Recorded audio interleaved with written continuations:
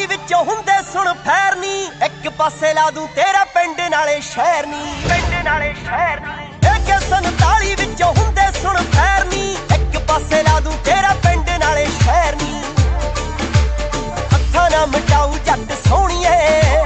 ਮੱਥੇ ਦੀਆਂ ਖੁਣੀਆਂ ਨੂੰ ਰੱਖ, ਹੱਕੀ ਉੱਤੇ ਸਿਰ ਸੌ ਜਾ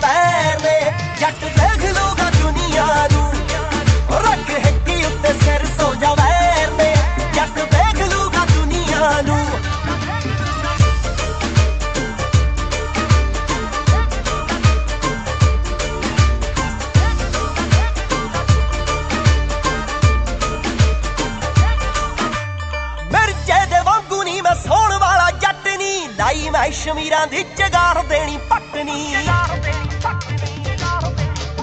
ਹਾਂ ਮਿਰਜੇ ਦੇ ਵਾਂਗੂ ਨਹੀਂ ਮੈਂ ਸੌਣ ਵਾਲਾ ਜੱਟ ਨਹੀਂ ਲਾਈ ਮੈਂ ਸ਼ਮੀਰਾਂ ਦੀ ਜਗਾਰ ਦੇਣੀ ਪਟਣੀ।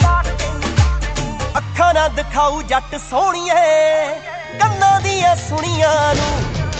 ਰੱਖ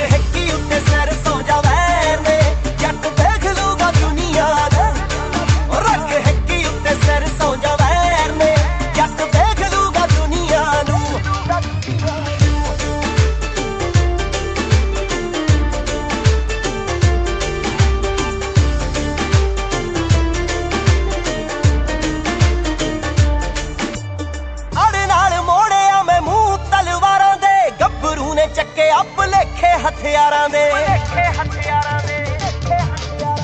ਆੜੇ ਨਾਲ ਮੋੜਿਆ ਮੈਂ ਮੂੰਹ ਤਲਵਾਰਾਂ ਦੇ। ਗੱਭਰੂ ਨੇ ਚੱਕੇ ਆਪ ਲੇਖੇ ਹਥਿਆਰਾਂ ਦੇ। ਮੁੱਢ ਤੋਂ ਹੀ ਦੇਣੇ ਮੈਨੂੰ ਆਉਂਦੇ ਆ। ਗੁਣ ਤੇਰੇ ਗੁਣੀਆਂ ਨੂੰ ਰੱਖ